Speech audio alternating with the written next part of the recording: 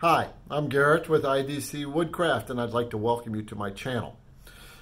This video is about how to make this Christmas block literally from the ground up, step by step.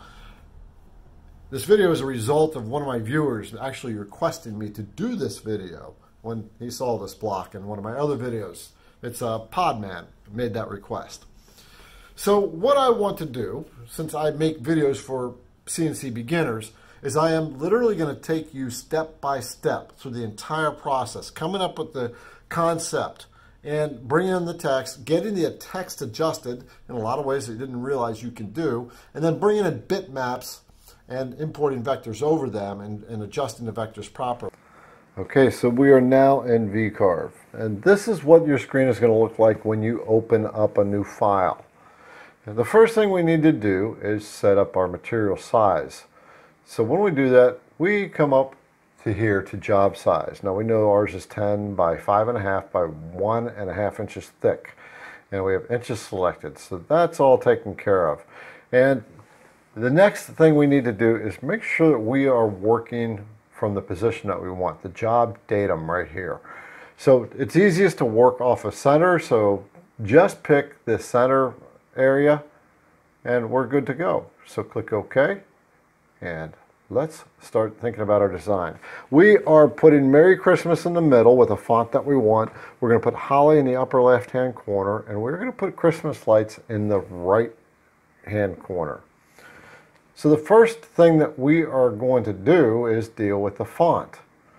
So what we want to do is come over here into the create vectors and we want to draw text. So you click that button and it's going to pop up a text field in the screen. First thing we want to do is find our font. I like the youthful organic and so let's just enter Merry Christmas and get it centered into the job somewhat. That's good enough. We are going to work with it a little bit. We can see there's a lot of space on the letter between the words and the letters are kind of crunched together. So we are going to fix that. But not just yet. The first thing we want to do is jump over to Google and get our bitmap images. So we are now in Google and I want you to take a look at what I've typed into the search bar. Whatever image you want to get, you type it in, like Christmas lights. Then I put in images and drawings. And what this will do will give you very simple drawings that you can work with so you don't have to do a lot of stuff. Now, we are going to go with Christmas lights, but not that one. It's a little swirly. It's going to be harder to work with. We'll take that one.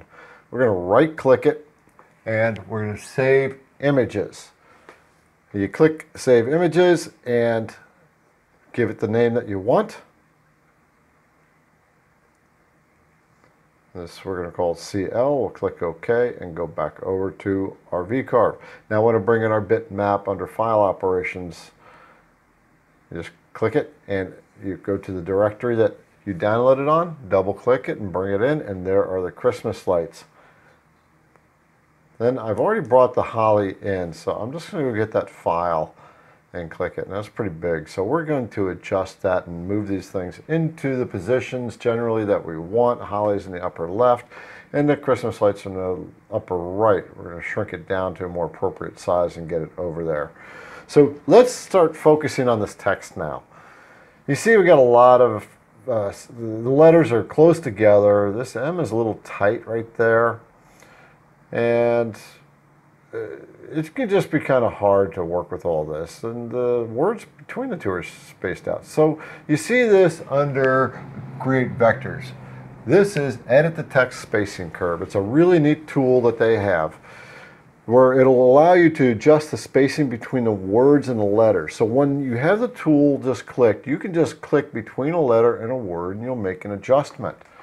If you hold down the uh, shift bar, it'll space out. So what we're going to do is bring Merry Christmas together and then we're going to spread out the letters a little bit to loosen this up a tad. And I like that. So let's go ahead and work on our first vector, the holly, and let's get it oriented about where we want to and get the size right. And then let's do that with the uh, Christmas lights. We're going to move it around and I want the cord to run off the end. So I'm using the cursors to move this thing around, the cursor buttons. Now you see that last light. I am not going to use that, so we're going to cut that off just because it's kind of hard to get the cord to go off the end. So now we're going to uh, trace the bitmap function. So you do that under uh, create vectors, this little brown whatever it is. You click that. And now you see that VCarve has uh, taken this bitmap and grayscaled it, but we don't have all our lights. We want to get all the lights in here. So what you're going to do is come over to the uh, type of tracing to use. We're not going to talk about color or black and white right now. We want to stay in black and white. What we're going to do is adjust the threshold. So this little slider, watch what happens when I slide it around to the image. You can see it's getting darker. I'll go to slide it to the left, it gets lighter. We want to get it darker so we have all our bulbs in there and filled up. So we have nice, we can create nice solid vectors around there. And this looks good. So we're going to preview it and everything's there. So we click apply and close. And we got our bitmap traced. Uh, we're going to go to our Holly now and do the exact same thing. And so now we have it. Now, up in layers, when you brought that bitmap in, it uh, created a bitmap layer. You want to turn it off by just clicking that light bulb thing so you can work with the drawings without the bitmaps. We're going to clean this up a little bit, get rid of that junk. So here's what we're going to do. Where you got double lines here, we need single lines. The berries don't look very good. And the veins and the leaves can be uh, redone a little bit better. So we're going to just delete those out. And we're going to start cleaning this up. And the way we're going to do this by adding an arc. So we can start trimming some lines out of the stuff. So that's under create vectors. So you start just pick your first point where you want it, second point on your arc, and then you just create the arc so the berries can kind of fit inside of it. And we're going to do this to all three of them. Just do a nice little arc right there, and then do it down here real quick. Okay, so we got that. So it's time to start trimming. We're going to use the Edit Objects Cut feature. And we're just going to start cutting away all the stuff we don't want. You can just hold the button down and ride right over the line that you want to trim out, or use your left mouse button. And we're going to cut that out and I'm going to quicken this up a little bit and there we go, we have it. So now we're going to add the veins into the leaf. So we are going to use the curve command again, the arc command, and I'm going to create the first arc just to make it, give it a little character. And then we're going to create the second arc and we're going to go from point to point. Now you need to have your snaps turned on in order for those vectors to connect with each other while you're drawing them. And then we're just going to bring that out a little bit and make it look like a vein on a leaf. And that's pretty good. Now you see I'm clicking each one and only one of them highlights. We need to create a single vector out of this. So shift and click and we are going to go join vectors with a line. If you use with a smooth curve in this case, it's going to give you a really funny shape. So click it with a line and now we are good to go. So click the vector again hold your shift button down and drag from the very middle button. And that's going to allow you to copy it to, and move the new copy around. So we've just moved them around and we are going to adjust them by using the outer buttons on these uh, little highlights, the, the, the, grab that it has. And then use a cursor button to move it around a little bit. And we'll get this one adjusted as well.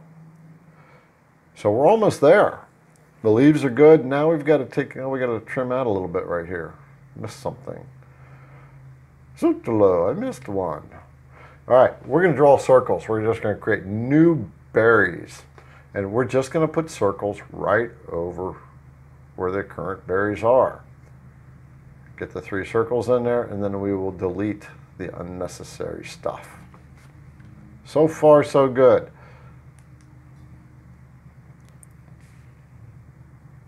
You just click it and hit the delete button. Do a little window, delete, get rid of that funny looking one.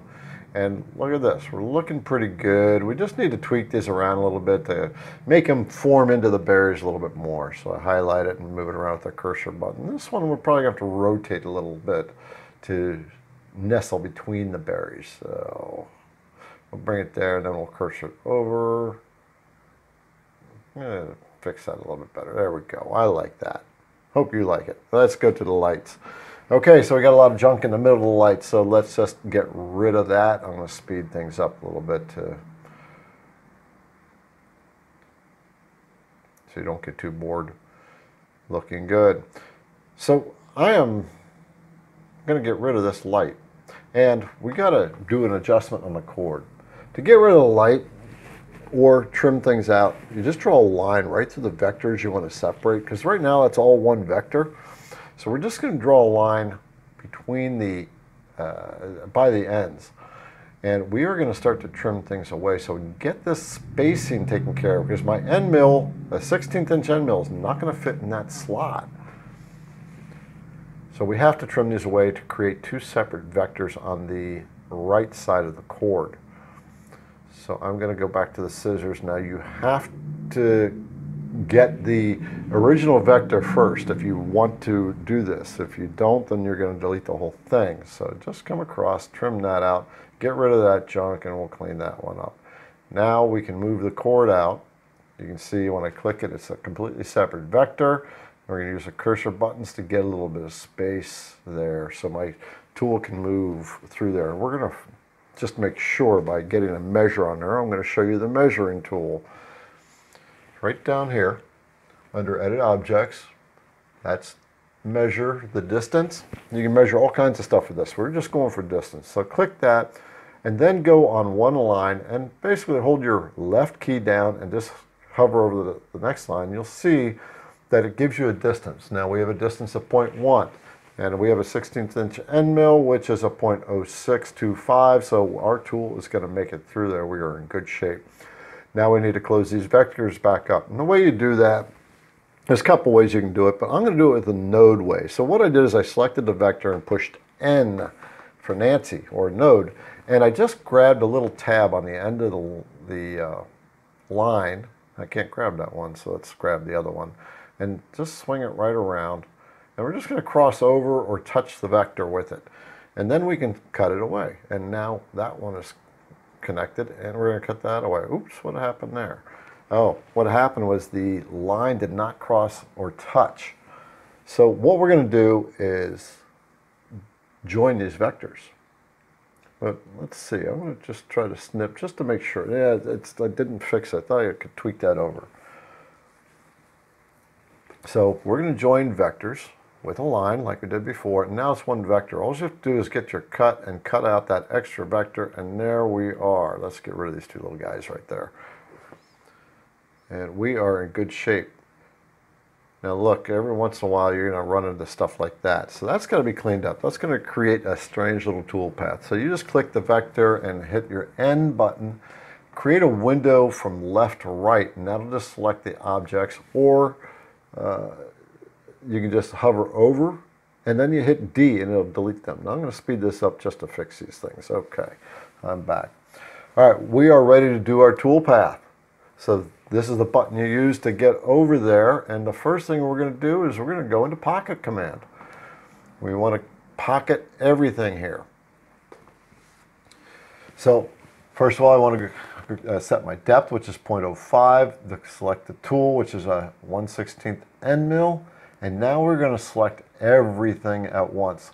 VCarve is smart enough to know that things on the inside will not get carved of, uh, if they're on the inside of other objects, such as the thing in the center of the A or the circle in the center of the E. And I am just generating this now to see how it looks.